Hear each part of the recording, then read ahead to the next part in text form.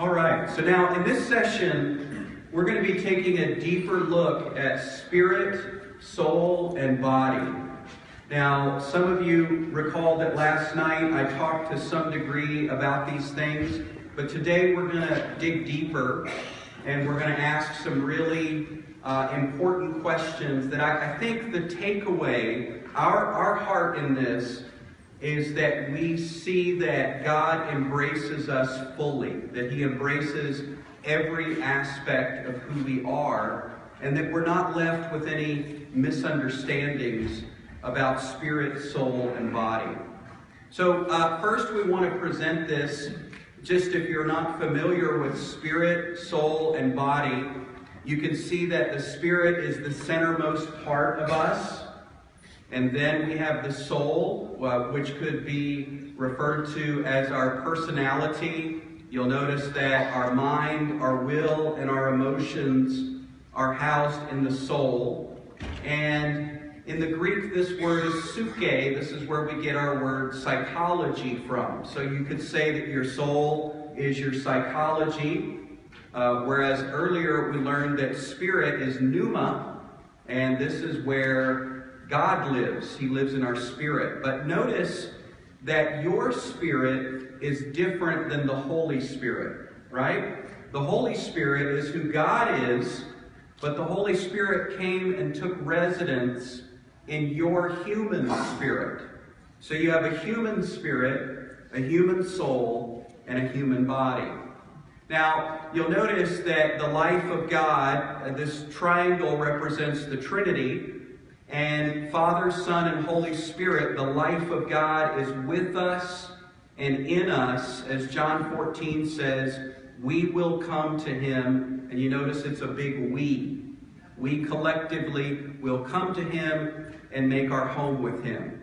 Now, lastly, I know this is very familiar territory for many of us in the room, but I just want to highlight the power of sin has an effect on us. And you'll notice that that little oval shape at the bottom there is the power of sin. And sin is in the world, but sin also has access to us through the brain, through the human body, through the five senses. We are connected to this physical world. And when sin entered into the world, that's how we get tempted, is by this power of sin. Um, Tim, talk to us about this dotted line what that represents and, and why it's not solid. So the dotted line would represent the flesh. So the, the sin has the power source, but it makes its avenue and access to us through these through the flesh patterns that we each uniquely have, right? And so our flesh is represented as a dotted line because it's not solid, because it, it's not who you are. It's not to be identified with, but it's to be recognized as something you have, but not to be identified with. Awesome. And I love the way you put it. You know, sin is the power and flesh is the pattern. The pattern, the highway, the route that sin has traveled over the years. All right, so uh, the last thing we want to say here is notice that um, when you choose good works that are from the Holy Spirit, that emanates out of the center of your being, whereas when we commit sins, they're not coming from our core. All right, so now we want to jump into the first question, and that is, you know, is self uh, a dirty word for the believer? And, you know, I talked about this briefly. We don't need to um, belabor it too long, but we basically came to the conclusion that self, you know, strangely, self is not a dirty word for the believer. Traditionally, though, Tim, we have looked at self as something that we need to push down, get out of the way, get rid of. And so, what are your thoughts on why self is not a dirty word? Well, because God gave us a new one, right? We have a new self. And it is, we're just one self. We don't have two selves. The old self that was dirty has been crucified. And God doesn't do anything with a sinner but crucify him. The only thing God can do with a sinner is crucify that sinner and he resurrects a brand new self. So self now has been redeemed for us as believers. We get to enjoy the new self. Uh, we just took a trip to Nicaragua a few months ago, and in this uh, in this city where we went and ministered, there's actually a dump site, a, a trash pile. And in this dump site, some of the orphans of that community have made their home there because they have nothing. And so they make their abode, they live off the trash of this dump site. And when I was there and looking at this and thinking about how we look sometimes at our own selves, and we have made self a dirty word sometimes, maybe even inadvertently. But if self is a dirty word, I looked at that dump site and I thought, who would choose to live there if they had the choice? And these orphans didn't have a choice. God has a choice where he can live. He has chosen us. He has chosen to homestead here within us. And he didn't do it in a dump. So when we walk around calling ourselves a dump, or calling ourselves dirty, or sinful, or sinners, we are not giving him the credit he deserves for the home he would choose. He cleaned us once for all in order to inhabit us in the new self. And self is a good word. Okay, so so God cleaned house and then he moved in. I mean, that's the picture you're giving us. And that's that's beautiful to think about, you know, as you look at this diagram again, uh, you know, basically we're saying God is blue and so are you. Right? You see that? God means happy now. Yeah, not not, not down. Right. No, thanks for clarifying that. That's good. But yeah, the, the, the, color of God in this in this diagram is blue. And let's, for, for the sake of, of this, let's let that represent his nature, his character, what he's like. And then what we're finding is that we're compatible. We're compatible with him. God is blue, and so are you. Okay, so then what about the idea of selfish? So it's fair to ask this question. We just said the self is new, it's good, we can embrace our new self that's a good thing, then how do we explain this word selfish? Because it certainly is a negative connotation, right? I said earlier, I, I believe that the old self has the characteristic of being selfish. It's about itself. But we've been redeemed from that. We've been made brand new. We're a new self. The new self is not characterized by selfish, but selfless. Philippians 2, it says, Jesus, who although he was God, didn't look for equality with God something to be grasped. He humbled himself and became obedient even to the point of death. So we see in the example of Jesus, and we're also encouraged to have that same attitude, by the way. So we see in his example the selfless self that Jesus is. And our new self will never be at home again, living selfishly, only for itself. It's a life unto others. So selfish is a negative word, but it has nothing to do with our new self. Now, I want to go back to something you said uh, just a few minutes ago. You talked about how we're not sinners. I think, you know, we need to be really clear on this because the Bible never actually addresses believers as being sinners by nature. Yes, we sin. Anybody here not sin? All of us, I'm looking, I'm looking. You know, usually there's one that raises their hand and I say, now you have. But you know, the reality is, is that we've all committed sins and we will still struggle with sin, but we're not what we do. Right. We're not the sum total of our past. We're not defined by what we do. As we like to say around here, we are who we are by birth, not by behavior. And that's why, you know, Paul is addressing people in, in his epistles, and he says to the saints at Corinth, well, we all know what the saints in Corinth were involved in and sometimes it wasn't very pretty. Uh, to the saints in Rome, to the saints in Ephesus. So you're not going to find God addressing us as sinners as a label. We're not sinners by nature. We are saints who sometimes sin, and that's a big deal, isn't it? As big as it gets, right? We have been so made brand new that our new identity is to identify with what Jesus has done, who he is, not even what we are presently doing. Because, like Andrew said, we can still sin, but we're not to identify with that. And what do we do when that happens? Well, we chalk it up and we're forgiven. And that's the new motivation for living unto righteousness. Guilt and shame and condemnation will never be satisfactory uh, motivators to righteous living. They are the debilitators to that kind of living. So God gave us a new identity as His child, a saint, a set apart one, righteous. We have right standing with Him, Not based on what we do, but based on what He's accomplished for us.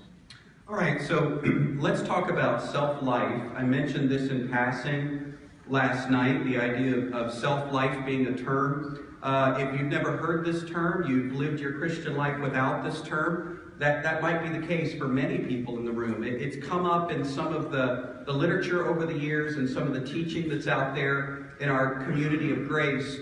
And, uh, you know, last night I was saying that I don't think it's the most accurate way to look at things. I want to really push us, I want to challenge us to revisit that.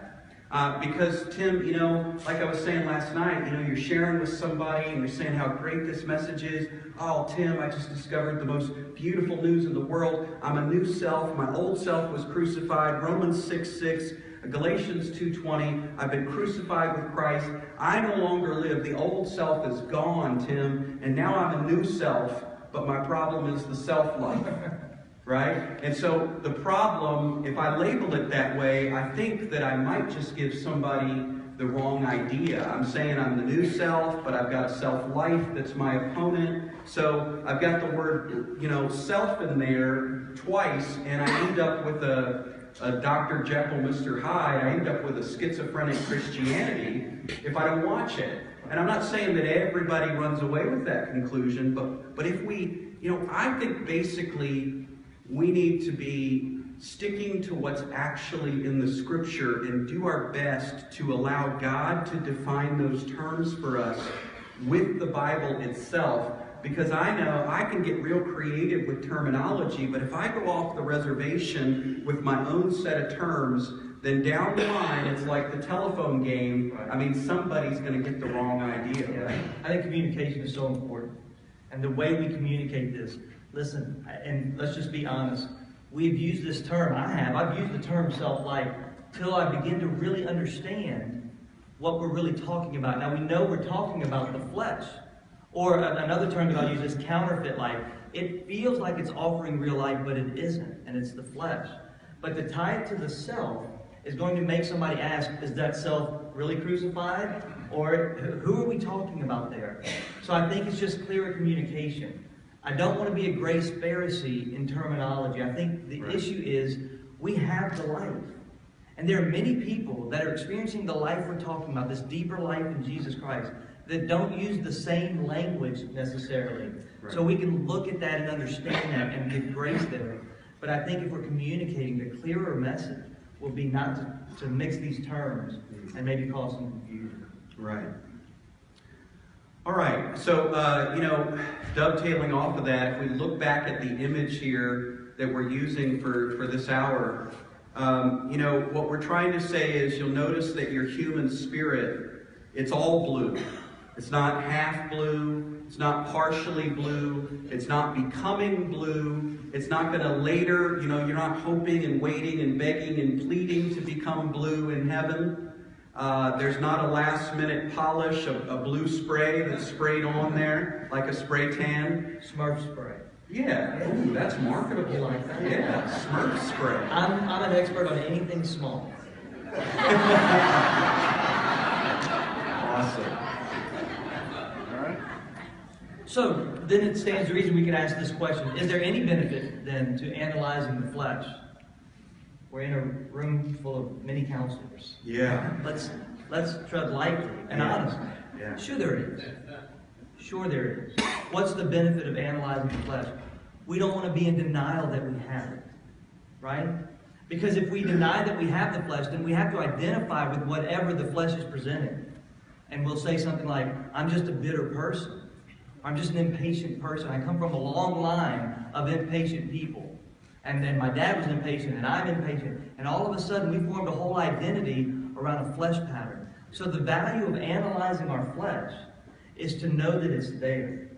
But then I think we quickly, as soon as we recognize it, as soon as we know that it's there and it's not who we are, we do just like Paul said. We get out of town. We press on towards Christ. We forget what is behind. Second Corinthians says we look at nobody according to the flesh. We don't form an analysis of paralysis around the flesh. We are about our Father. We're about identifying with Him, and we set our sights right there. We fix our eyes on Jesus. Notice it doesn't say Fix your eyes on not walking after the flesh. It says, fix your eyes on Jesus. Walk in the Spirit, and you will not satisfy the desire of. Yeah, so if you haven't caught what we're saying yet, I mean, we're saying that in a counseling setting, absolutely, you come in with struggles, you come in with a pain and problems, and you're able to sit down in front of another person, and God uses that person to minister to you, and you walk away with an understanding of your struggle like you never had before. And amen to that. That is incredible. That is awesome. The problem is when I start to become my own judge and jury, I start to become my own counselor and I'm analyzing all day long. Is this flesh? Is this spirit? Is this flesh? Is this spirit? Anybody relate to that at all, or is it just us? Yeah. yeah, you can find yourself, once you become aware that there are so many flavors of flesh. I mean, it's like Baskin Robbins, huh? There's 31 flavors of flesh out there. And there's good looking flavors and bad looking flavors. There's religious flesh and there's ugly looking flesh, the lying and cheating and stealing flesh. But then there's, you know, spiritual looking flesh. And you start realizing, whoa, anything could be a counterfeit for the Holy Spirit. And then you think, well, I never want that to happen again. So I'm going to be my own judge and my own jury and I'm going to be my own referee, and I'm going to keep myself from ever walking after the flesh because I just don't want that. I don't want that. And at that point, I've become my counselor, my judge, my jury. And, you know, even when you look at the words of, of David, he says, You search me, oh God. You search me. You see, you see if there's something going on here. Because you're the God of the universe, and I am not. And as you so correctly pointed out, I mean, the Bible never says, analyze the flesh, analyze the flesh, analyze the flesh. It says, walk by the Spirit, and you won't fulfill the desires of the flesh. So we have to come to a place where we're saying, I am willing to not serve as my judge and jury. I am willing to even not know if something is of God every moment or not. I don't have to know, but God is big and He's in me and I trust Him and I'm not going to be that guy that, that goes down the basketball court and stops every four seconds to see if the ref blew the whistle or not. I'm going to play the game. Play the game, enjoy the game. It's relationship and God is big. Imagine if you you know, you tapped your kids on the head every moment they ever thought anything or did anything off. I mean, you might be correcting them all day long and you'd lose relationship. And I think, you know, we can tend to think that's what God's up to, but, but God is wiser than we are, and He's going to take care of our behavior, but maybe not in the way we imagine. Yeah, it, it makes me think of the verse in Isaiah where He says, He will keep in perfect peace whose mind is fixed on Him. I think sometimes the way we operate, we're thinking, He will keep us in perfect peace when our mind is fixed on the flesh. When we, when we can focus on the flesh and correct it and identify with it and make sure we're not walking after it. You don't walk into a dark room and cast out darkness and figure out what darkness does and try to get rid of it. You just turn on the light. You just fix your eyes on Jesus. Walk after the Spirit. Walk in Him. And don't even worry about the flesh. Now, I'm saying that and it sounds a lot better coming out than what we can experience when we get out in the lab, right? So there's no condemnation in whatever, wherever we are in that process. But the truth is the truth. And we're on the journey of discovering more and more this reality. It sets us free. All right, so what about this idea of let go, let God, or a similar notion, all of Him and none of me? Now, some of you know that we here in Texas we've had some pretty bad, pretty bad wildfires over the years. Um, my mom, in fact, has a place here in Texas, and the wildfires, the flames got to be 200 feet tall, and they came within 100 yards of her place and almost took it down.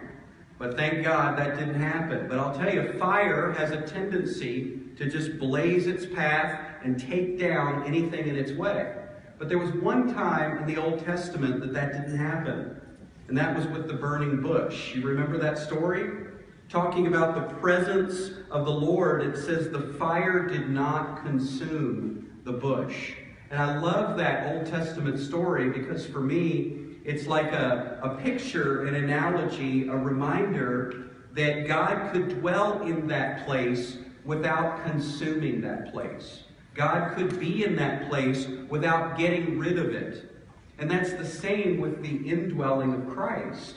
That Christ dwells in me. It's not all of Christ and none of me. It's all of me and all of Christ in a beautiful union together, right? And and you know, when we talk about this, you know, we talked about um, brokenness last night. I, I, mentioned that term, and that that can often be misunderstood. Uh, you know, is God trying to get rid of us? Maybe not, but He's trying to break us down and tear us down and diminish us in some way. And I think we have to come back to just a, a simple insight, and that is my confidence is being broken. My confidence in the flesh is being broken. Because Paul said, I put no confidence in the flesh. It's not my spiritual hardware that needs cleaning or improving. It's the fact that I have some software issues in my thinking. It's not my hardware, it's my software. And it's the, the confidence. You like that? That's really good. Yeah, well, thanks. I like it a lot. Thank you. I appreciate that. Uh, but you see the difference here. If we needed a hardware adjustment, then that would be, well, you know, we need another finished work. Guess it wasn't finished. But there is a renewing of the mind, and we're going to talk about that. And part of that renewing involves uh, being this confidence being broken. Um, because, you know, that way of living, it just doesn't work. And God wants to show us that because He loves us. Yeah, I said, I said earlier in the last session, I said, you know, it's in our heart. That's where He put it. Now it's got to travel the 18 or 20 inches up into our head, right? The renewing of the mind. But this, this very idea, is it all of Him and none of me? It sounds so good. How good does that sound? Oh, it's, it's Jesus. It's all Jesus. Even to the point when people do things and you come up and say, That was great. Thank you for ministering to me. Thank you for playing that song or giving that message. Oh, it wasn't me, it, it was Jesus. And you want to say, I, I could have sworn I Yeah, I mean, you were involved. Uh, yeah, somehow. I mean, I didn't know Jesus wore a polo shirt, but we have to understand the, the very question, the very idea, is it him or is it me, presumes maybe the greatest lie that there's a separation. And people get into passivity too. Yes. Because if it's all of him and none of me, then I'm just going to sit on my hands and I'm going to wait. I'm saying, Grace, grace, grace, grace, grace, where are you, Jesus? Yeah. And his answer to that would be, I'm already in you. I'm already with you. Let's walk. Yeah, I like to kind of play with the, the passage that says nothing is impossible with God. You know the passage? Well, we know what that means. He can do anything. But how about doing nothing is impossible when God's in you too? He's a lover, right? And I, when I do counseling, sometimes they'll ask this question as they start to learn their identity in Christ, start to learn their freedom. Then they, they really, because they've been so uh, focused on flesh patterns, they, they'll now say, Well, I'm so, am I abiding? Is it me or is it Jesus? Is it me or is it Jesus? And I tell them, The new covenant is not Christ instead of you, it's Christ in you. The question presumes separation, that the whole of the New Testament, the whole of the New Covenant, is correcting. Jesus paid too much to come inhabit us for us to keep asking the question, okay, is it just you or is it just me? There's no separation now. We are in union with our God. It is Him and me and me and Him. And you were telling me the other day that in your counseling situations, uh, you get that question all the time. I mean, people say, you know, okay, okay, I think I've got the message. All right, but just one question. Yeah. Is it Him? Is it Christ? or, or is it me? And the answer is yes. Yeah, the answer is yes. That's right. Yes. Yeah. So what about the term Christ as me? Now again, we said that we don't want to be grace Pharisees in terminology. I think I know what we mean when we say this. I just want to be careful because the scriptures use terms like Christ in me, Christ through me, Christ for me, that sort of thing when I think of Christ as me, I, for me, I get the sense that I need to be replaced again. Mm. That I'm, I'm not good enough. That, look, If I'm only seeing Christ, I'm okay. But if Tim's involved in this, Mm. uh, so let's just do Christ as Tim. Let's just replace Tim. Jesus doesn't want to replace us. He wants to embrace us and work through us, live through us. He wants to love through us. And I think about being married. Can you imagine if I went to my wife and said, Okay, Catherine, we're in this union. I love you. You love me. This is a great thing. I want you to live as me. I can tell you what she would say. I, I tried it for the first few years of our marriage. It didn't work. She's not real good at being me, and I'm not real good at being her. But we're pretty good at being in union. And union is not the idea of sameness, it's oneness. I didn't become her, and she didn't become me. But if you call our house and ask for a Chalas, though she was not birthed with that name, she is just as legitimate to answer by that name now as I am, because I gifted it to her. She received it fully. We live in and through that union. But she doesn't have to live as me, and I don't have to live as her. We're unique, but in union. So it, it kind of reminds me of the Jesus glasses. You know, if we took this the long way, then we might say, you know, God is looking at me through the Jesus glasses and he sees Jesus instead of me. And so then when it comes to the living, it needs to be Christ as me. And, you know, some people could get the wrong idea. They get the idea that, you know, we're all going to be Jesus clones. We all end up exactly like Jesus with no diversity and variety. And what I love about this is that what we're really saying is everyone in this room is a unique canvas. And God has never painted on these canvases ever before in human history. And the master painter is loving every minute of it. And he gets to paint the brush strokes of his life on your canvas. But the difference is, is that each canvas in itself is unique. Our personality traits, our sense of humor, what we like to do, what we don't like to do, who we really are at the personality level is totally embraced by God. And so it, it's like the end goal becomes different. It's not that I need to avoid, as if I were an obstacle. As we were saying earlier, we, we really see that we're an instrument and that we're compatible, that we're part of the equation, and that God loves our uniqueness. And can I just add this? If we're image bearers of Him, and we are, can you imagine the vast variety of image bearers that it continues to, that God was painting this canvas?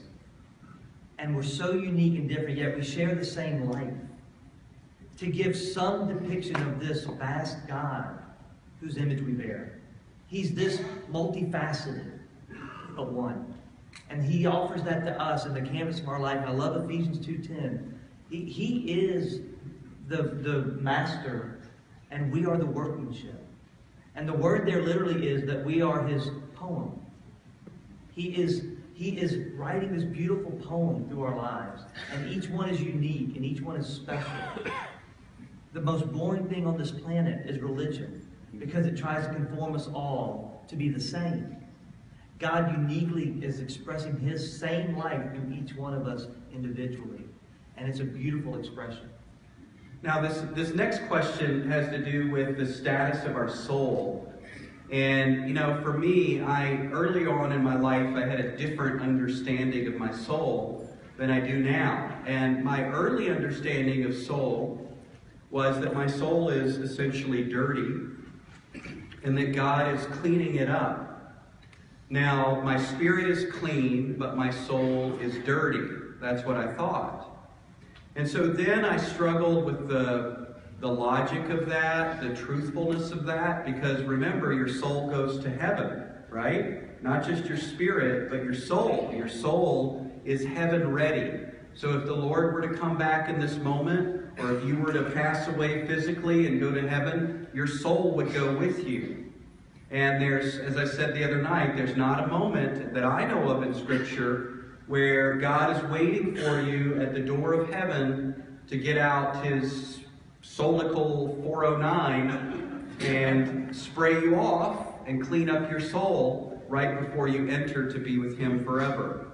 So, what's up with the soul? I mean, that's what we're asking.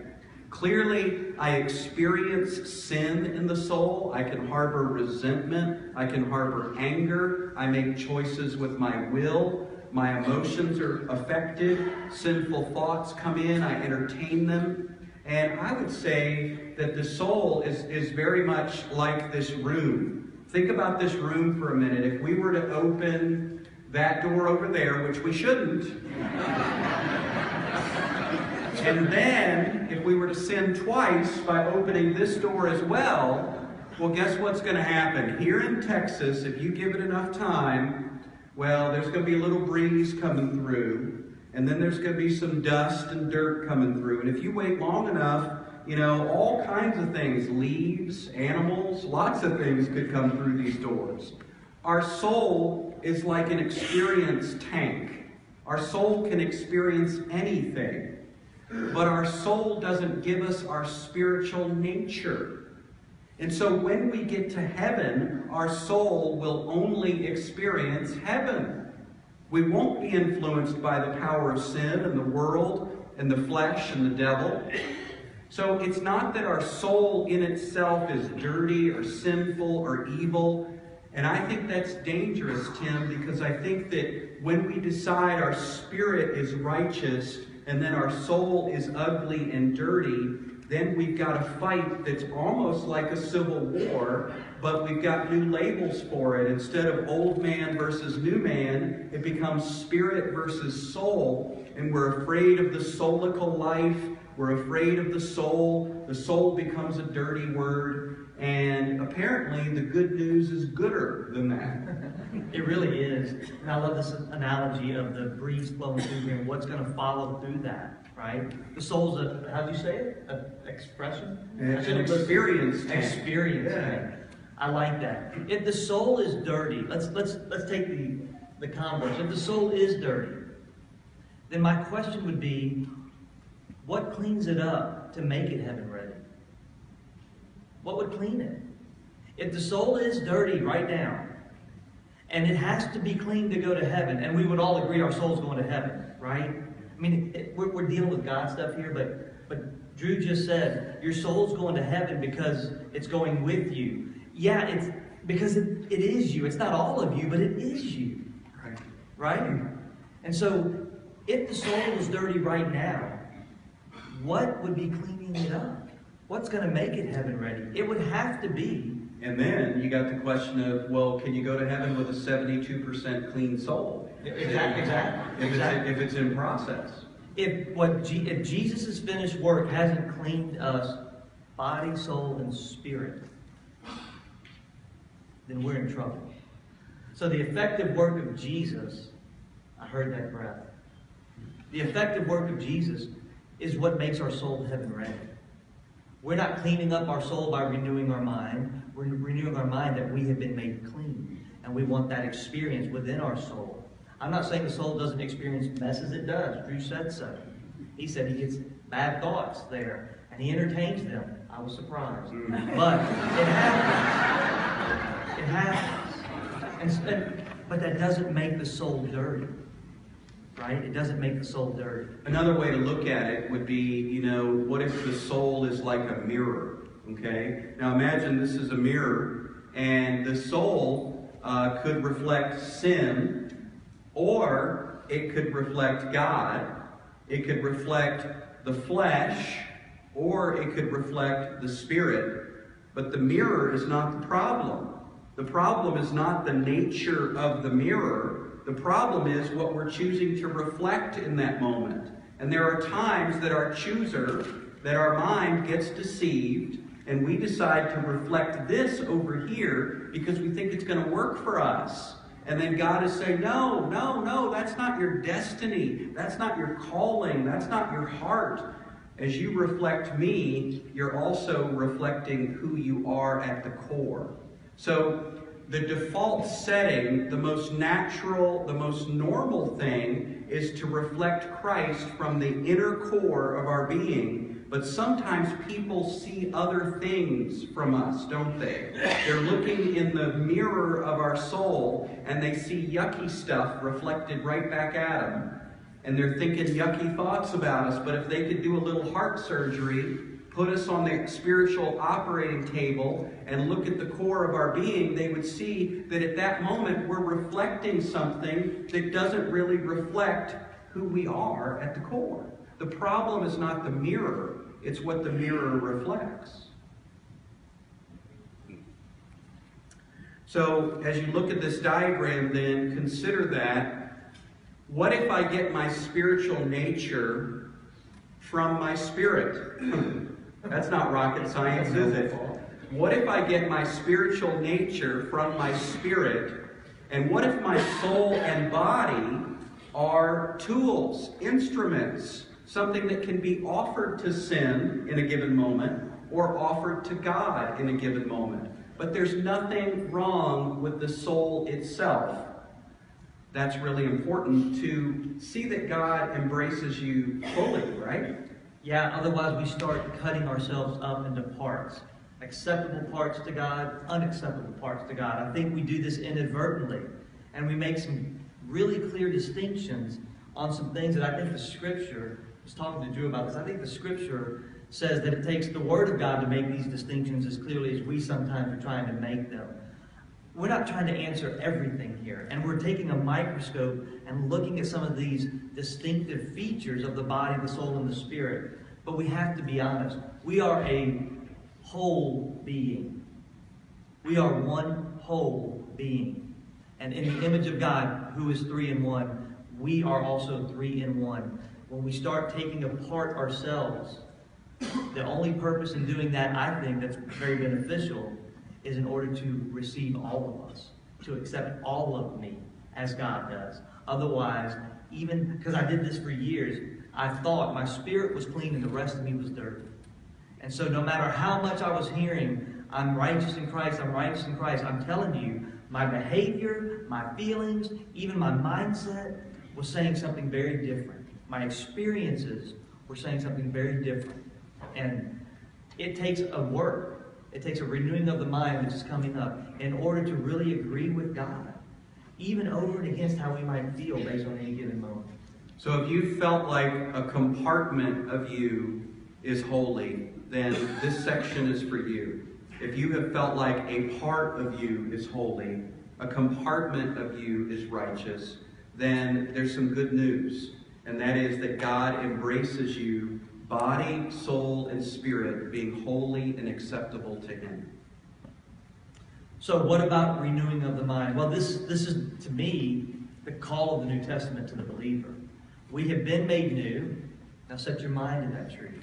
Right? Romans 12 says, Do not be conformed to the pattern of this world, this gravitational pull that the world has in it. Right? Be transformed by the renewing of your mind. It's a command.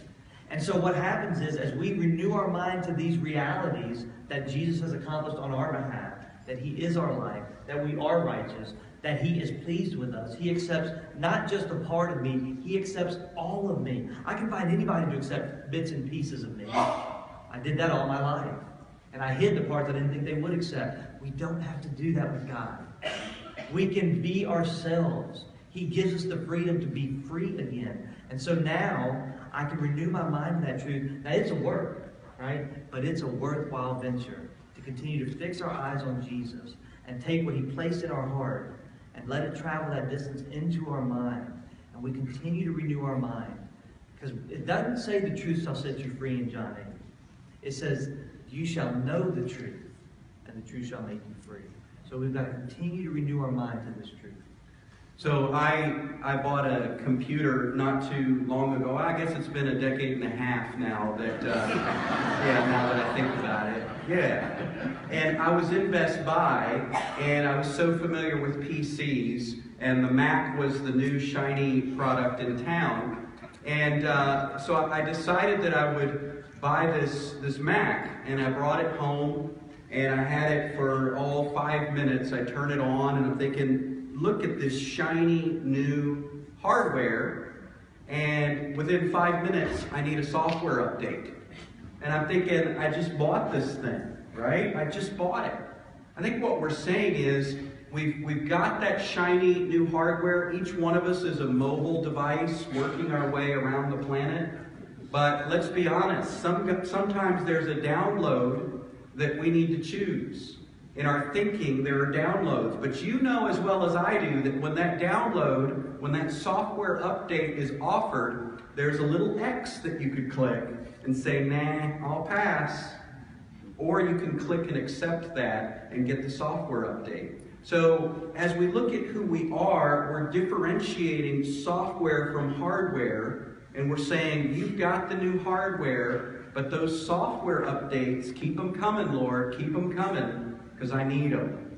But those software updates, they don't determine my nature. I mean, even Jesus himself, it says that he grew in wisdom and stature, and we may be learning things and growing even into eternity beyond this life on planet Earth. We're, we're going to be learning and growing and getting to know the Lord better, learning more about the facets of all that He is.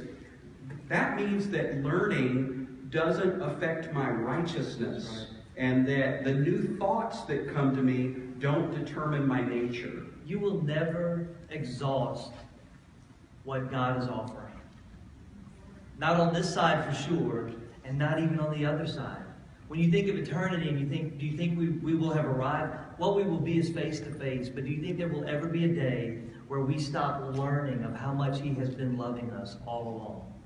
We will never go, oh, I, I, I tapped into it. I finished it all.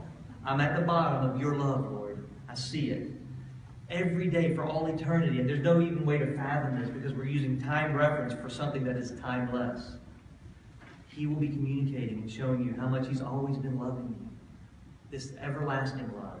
And so, what do we do on this side of it? Keep renewing our mind. All right, well, the last question we want to address is, is the body, the physical shell that we live in. And, um, you know, what I want to say about this is that early on, there was a group called Gnostics. The Gnostics were infiltrating the early church and basically teaching that this body is evil and so you had a lot of Christians who had the wrong impression. They were rejecting their physicality. Uh, a lot of people were even pushing the false idea that Jesus didn't have a real physical body. And of course, we know that he did. And anyone who says that he didn't, uh, John calls that anti Jesus, anti Christ, to say that Christ did not come in this physical shell that we also share. So it's interesting how when we know that flesh is the opponent, somehow that gets wrapped up as body. And then some of us, if we're just tasting the message, or if we've gotten the wrong impression, we might think that the body is the enemy. And I guess, uh, Tim, what we're saying is Again, the body is not the enemy, the soul is not the opponent. Of course, the spirit is not either. And so the, the big takeaway is that God fully and, and wholly and completely embraces all of who we are. And yes, our body and soul can be used as a parasite uh, called sin, might infiltrate our thinking and act through us. But we need to know that there's nothing wrong with the instrument itself. It's just a question of am I offering my body to sin or am I offering my body to God because it's holy and acceptable? Am I setting my mind on sin or am I setting my mind on things of the Spirit? But there is nothing wrong with my body, soul, or spirit. And that is a big message because we can say, God accepts me all day long, and then run away with bad ideas about, well, really it's just a part of me. So, so you're saying he likes my body? Yeah. He likes this thing. It's me that sometimes doesn't like it, right? He likes our body. And I, do think it's a not so subtle form of Gnosticism to talk about he's pleased with my spirit, he's, he's okay with that, he's made it righteous. But then to reject our body, where the scripture says, This body is a temple of the Holy Spirit, and you are holy. He's totally pleased with all of us, with all of you. And then when I think of you know the different definitions for what the Bible is, you know what I think the Bible is? It's God's address book. Throughout the Old and the New Testament, it tells us where He lives. He lives in us, body, soul, and spirit. He lives in our whole being. And Romans 8 says, The God who raised Jesus from the dead will give life to your mortal, subject to death. This body's subject to death, but it's not evil. That he will give life to your mortal body by faith. So he's expressing his life through all of us, one whole being. Well, let's uh, let's pray together and thank our God. Father, we thank you for this time. We thank you for the truth that always sets us free. That you are crazy about us, that you are completely in love with us, and that we can embrace this truth and not try to explain it away or compartmentalize it or make it about a part of us. But you have announced that body, soul, and spirit you are not seeking to replace us, but you want to totally embrace us. We love you, Father. We thank you for this message. We thank you for your Son.